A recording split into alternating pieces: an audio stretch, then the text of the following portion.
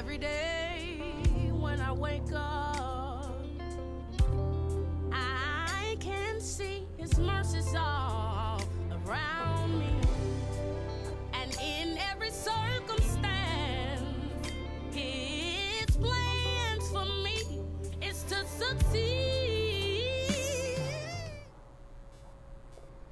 Well, good morning, grace and peace from God our Father and the Lord Jesus Christ. I greet you in the strong name of Jesus. The Bible says that the name of the Lord is a strong tower. The righteous run into it and they are safe.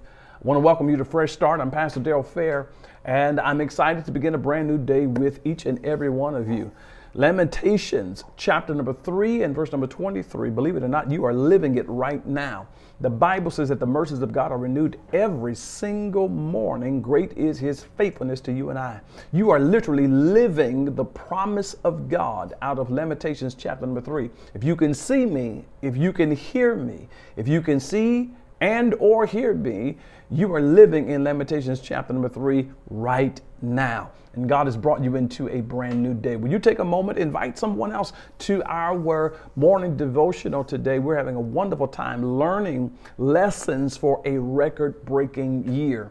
Yesterday, we were talking about the fact that there are some people who will not believe that you deserve a record breaking year. And you got to learn how to deal with them because God's getting ready to bring you into that record breaking year. Now, what I want you to do, go with me again to Matthew, or rather Mark chapter number 2, verses 8 through 11. A little bit of reading this morning, but stay with us.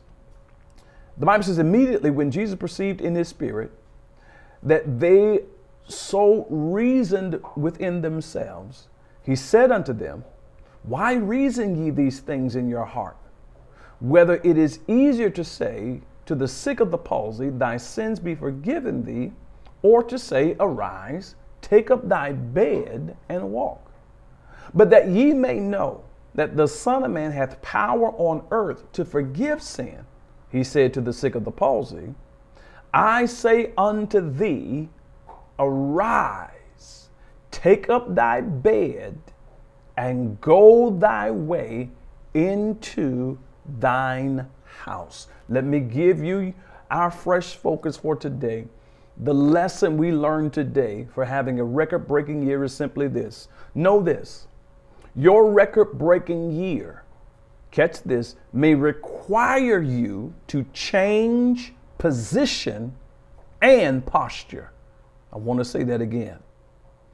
To move into your record breaking year, you may have to change your position and change your posture let me give you a little story if I have the time this morning. And I trust uh, that it will be a blessing or it, that it makes sense to you. I've been a pastor for almost 20 years now. And um, I say that with pride, not because I deserve to be a pastor, but because God has kept me this long. And in the beginning days of my pastorate, I wanted to be full time in ministry because I wanted to give my life to the church and to ministry. And I knew that I would have to make more money than I was currently making on the job that I had to be able to make that leap.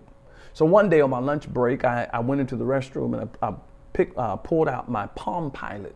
Uh, some of you may not know, but it was like a handheld device, uh, almost like a Blackberry.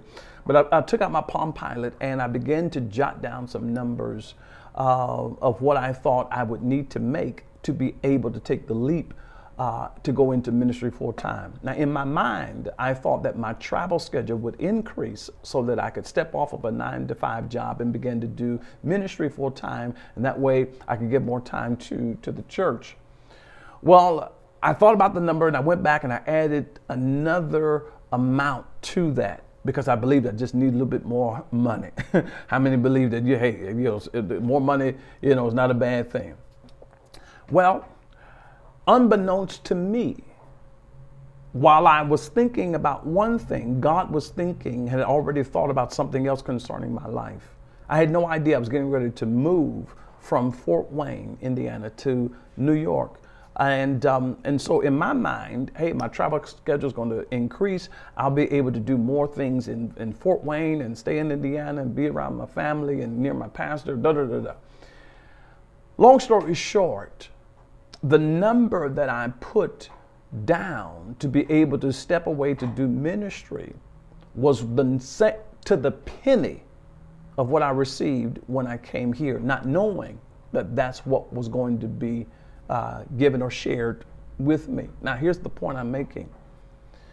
In my mind, I wanted to do ministry. I am currently doing ministry right now. In my mind, I wanted to be full time in ministry. I am full time in ministry right now. But in my mind, what I wanted, I thought was happening in Indiana. It didn't happen there, it happened here in New York. I had to change my posture and my position to move into a record breaking year or a record breaking season. Now, I'm not saying I'm getting ready to move. Thank the Lord. Uh, all I am suggesting in this little story is that sometimes what you want you may have to change what you think or change your outlook or change your position. Maybe where you are, you only dislike where you are because you have not been promoted just yet. And I want you to understand to move into a record breaking year, you can't do what you used to do and still have a record breaking year. You're going to have to change your posture. You're going to have to change your position. Jesus tells this man who is paralyzed, Get up, arise, take up your bed. Let me put it back on the screen. He says, Arise, take up your bed and go to thine own house. this man has been on that bed God knows how long. But when the word of the Lord came to him, Arise, take up your bed, go to your own house, the man changed his position and changed his posture and he moved into a record breaking season. I declare, declare and decree the same for you and I.